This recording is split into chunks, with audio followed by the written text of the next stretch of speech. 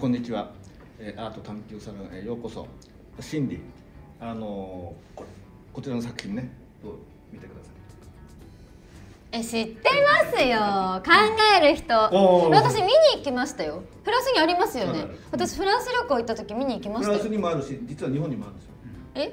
あの国立西上野の国立西洋美術館にも考える人あるんです。本場はまさにパリだフランスあフランス？そう。ロダンって近代彫刻の地と言われている、うん。ロダンのえ彫刻。え今回はそのロダンにまつわる恋愛ストーリーなんですよ。えなこれ恋愛で考えてたの？考えるそうなんです。えそう。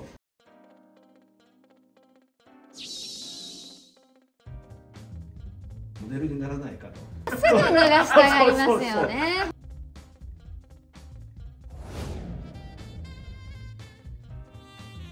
心も体もパワハラされてかわいそう。どうなっちゃうんですか？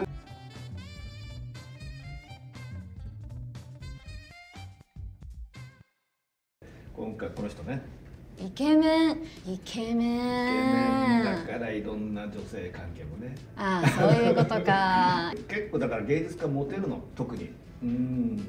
今回はねこのロダンにまつわる一人の女性の試練というか。え？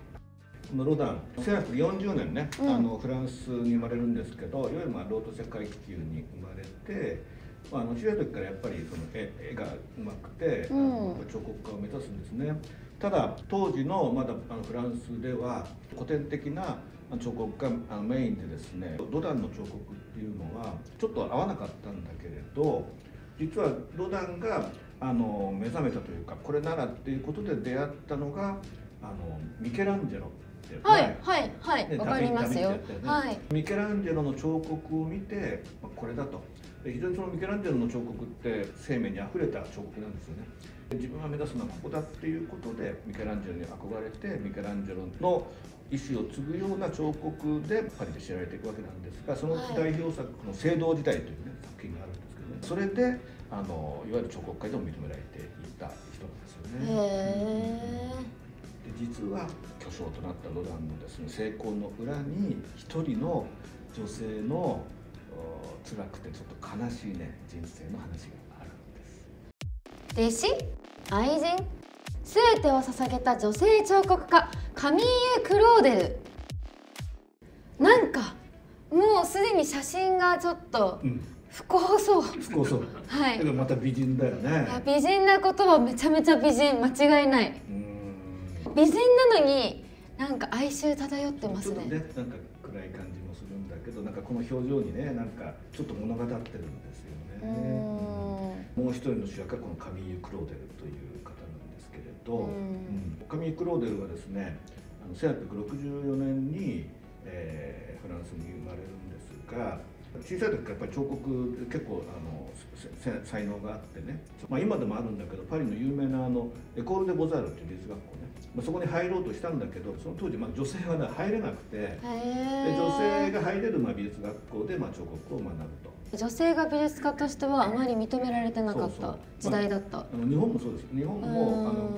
東京芸大なんかもね女性が入れるようになったのは戦後になってから結構そういうこと多いんです。よそうなんだ。そうそう。でまあそこでまあ彫刻をまあ目指してたカミーユにですね。その後の人生との大きな転機となる出会いがあったんですね。はい。うん。悲劇それともロダンとの運命の出会い。で実は、まあ、ロダンは、まあ、あのその後、まあ、いわゆるそのまあ近代彫刻の父と言われたぐらいでも非常にまあ高い評価があったわけですね、まあ、いわゆる彫刻界のまあドンと言われていたわけですよね。で紹介されるわけですよこういう先生がいるっていうことで、ででロダンもそのカミーユの作品を見ていやこのあのセンスがあるなっていうことで、まあまあ、弟子として認めると。でまた神が本当にあの美しいね美貌だしいや美しい。スタイルも良かったっていうことでですねモデルにならないかとおー脱がしちゃうわけです来ねね。みんなすぐ脱がしたがりますよね 本当。本当にそういう展開ね。はい。もうで想像通り。そうそうそう、はい。その時ねあのそうかロダンが42歳でカミーユがね、えー、19歳か悪い。悪い本当。若い子にばっかり手出して。なんか最近もいろいろなんかよく聞くようなね。本当ですよ。やっぱ昔は今も変わらないですね。ね。はい。まあそれでもモデルとしてもあのや一緒にあの身近で生活するようになってまた彫刻家としての髪色もね、まあ、認めるということで本当に二人がまあ接近をするわけですね。はいまあ、ロダンが可愛いなと思うこともあると思うけどカミーユもやっぱりあの彫刻家のドンですからやっぱ先生にいろいろ習いたいっていう思いでね、まあ、2人が、うん、分かる？わかる。わかる。そうだよね。だって教えてくれるかつ、ん。顔も整ってるじゃないですか。でお金もある。そうそういろんなことを教えてくださいってなっちゃったんでしょうねきっと。やっぱり手取り足取り何でも教えてあげるよみたいな。ただでもやっぱりねロダンにはあの奥さんがいるわけですよ。それはもう何でも教えちゃダメ。そうそうそうダメ。でも、まあ、仕事でのお付き合いなんですけどね、あもう仕事以上なのが想像つきますけどちょっと今話題のねそんな感じの漂ってますよね。パワハラとかね本当ですよ、ねはい、もう100年以上前の話なんだね。いややっぱ100年以上昔からやっぱりそこも変わらないと。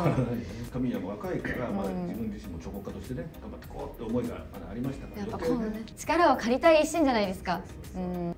ただこれからまだまだね神谷にとって辛いことが実は続いていくんですよ。ロダンとの決別封印されたカミーユの存在。実はねで結局ロダンがもうあの巨匠としてもあの確立してて世間的にはロダン先生になってたわけですよね。実はそのロダンのいろんなあの彫刻の中で女性的な優美なあの描写のあの彫刻っていうのも結構あって実はそれがですねカミーユ自身がやってた彫刻のいいところを実は盗んでえたんですよ。逆に？いたんだけど、はい。それは表に出してないわけですよ。自分でやった心も技法も全て盗んだ。そういうとこあるだろうね。えでそれを隠した。で俺のものだよってやったってこと隠したっていうか周りもあやっぱりもうもう先生になっちゃってるからそうですねまさくまで、まあ、かあのモねデルさんという感覚で多分見られてたと思うし。ですよね。うんモデルさんがそんな金の卵でそんな技法を持ってたなんて誰も思わないってことです。しあの先生ならっていうことでね。へえやたただそのこだとがね、うん。あの分かってきたらつい最近の話なんですよあな最近？そう。存命中はですね全然そういうことは表沙汰にならずにそうなってた。で私がこれはやってる技法ですって言ったところでうん先生だから誰もねそれこそまさにパワハラです心も体もパワハラされてかわいそう。どうなっちゃうんですか？それで、うん。実はロダンはカミーユに対して、まあ、いつか一緒になるよみたいなことを言ってた悪らしいんですよ。い。悪いよ。はい。それでその後ね、まあ、15年ぐらいずっとお付き合いしてその間15年。子供もできたけど、まあ、流産したりしてだけどカミーユはロダンを信用して思い続ける。思い続けるわけ。だけどロダンは最終的にというかねやっぱりあの奥さんがいるから奥さんの元に戻るわけですよ。だんだんやっぱりその2人の関係っていうのは世間的にもはい。知られてくるんですよね。バレるんですか？やっぱりあのなんとなく。でそういう中でお父さんが唯一の理解者だったんだけれどもそのお父さんがやっぱり亡くなるんですよね。それによってロダンからもあちょっと見捨てられお父さんも亡くなりっていうことでもうね、まあ、精神崩壊っていうかね。はい。で作ってたもう彫刻もなんかもう壊したりしてですね。もう自分はダメだっていう思いになったようなんですね。そういうことが続いていったのであの家族から精神病院えに強制的に入れられたりして、精神病院に入ってからですね亡くなるまで30年間いわば強制収容の状態でその間全く作品も作らずに人生の半分ですね。それもそこでもう暗い生活というか。あじゃあ最後は精神病院で一人でなんかすごいロダンに骨の髄まで。ロダン自身はもう、えー近代彫刻の父っていう。うはははなわけですよね。地位も名誉もね。そうなんですよ。だからもう神優にとっては本当に辛い一生だったんだけれども改めてカミーユに実は光が当たったのが1980年代ぐらいから、ね、ああそうなんですね。であの1984年にあの今、ね、あのパリにロダン美術館ってあるんですけど、うん、そこでカミーユの実は展覧会が開催されてえー、見たい、ねあ、まあ、これなんですか？カミクロデルっていうねそう分裂盛りというタイトルなんだけど才能ありますよカミーユ自身もねすごいあんなにね、うん、美しいお顔でこんなに力強い立派な作品を作られるんですね。でそこでだからそれがもう今から40年ぐらい前ですからね、うん、その頃からまあカミーユの再評価っていうのが始まってまああのかなり壊されてるものもあったんだけど、まあ、残された作品の評価がね始まって、うん、今改めてカミーユ・クローデルがね、まあ、評価されてるんですよ。時代とパワーの力加減ってものすごく女性に対して大きな壁だったんだなと、ありますよね。だからますますこれからあの彼女も評価が、ま、もっと高まってくると思います、ね、いや輝いてほしいです。やっぱ私も結構男性を立てるというよりかも自分が言いたいことやりたいことを主張するタイプで生きてるんですけど女性が一歩前に出て引っ張っていく時代でもいいんじゃないかと思ってるので、うん、なんかカミーユが もっと前に出る社会になったらいいなとも思います、ね、そうですよね、うん、素敵な女性だからこそ、ね、もっといい男見つけてほしかったですよ、ね、はい、今結構いろいろ映画になったり小説になったりとかしてます、ね、あそうなんですか？もっと評価してほしいね、いややっぱ美術と恋愛は紙一重だなっていうか、うん、恋愛をしてるからこそ美術に深みが出るなとは思うんですけど、うん、モチベーションにもなるからね、もっと幸せになってほしかった、ねね、はい、着物姿のね、はい、シンディから報告があるんですよね。小さい頃からの夢だったとあることを叶えに4月から世界に進出いたします。ということは？一度卒業させていただく形になります、えー、ということなんです。はい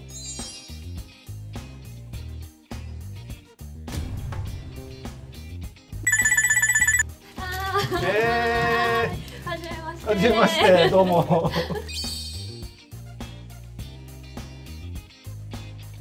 シンディいってらっしゃい。ありがとうござい。ます行ってきます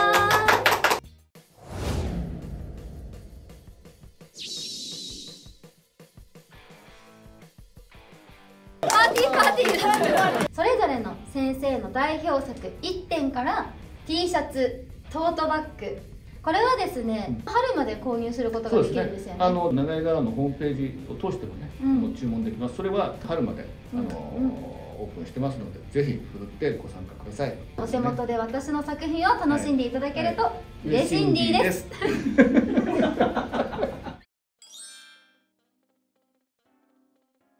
えー、今週の作品も先週に引き続き伊藤若冲の作品ですね「串海図」ここに、まあ、あのアワビ干したアワビをあの絵にしてるんですけれどもなんか非常にそのなんか抽象的というか非常に現代アートに通じますよね。そしてここに、えー、鎌野末隆というその時代を代表する歌人その方の山ですよね。本当にあのいい形でこの山と絵がバランスよく描かれています。昔からあの日本ではね絵と書あのこう山というのはですね一体なんですね。この書も絵になってますし、えー一つのこれ全体としてま見ることができるんじゃないかなと。そしてこの星ハーブの描き方もねこれ全体をあの描いてるわけではなくて逆にこれ書いてないところも想像させるような非常になんかその大胆な切り方というかですね。これがまさに現代アートあの抽象的な表現にも通じる作品でこれ今の新しいマンションなんかでも非常にこれがなんかモダンアートとしてもね十分通用できる時代を超えた私は名作じゃないかなと。で実は今回ですねこの伊藤若冲12点12作のうち2点実は販売するんですけどその中の1点です。これ販売します。おそらくあの伊藤若冲今最も知られている方だと思います。そういう人気作家のしかも代表的な作品がね身近に見られてしかも購入できるという機会ありませんのでぜひこの機会にご覧いただきたいですね。本当に今回おすすめの作品の1点です。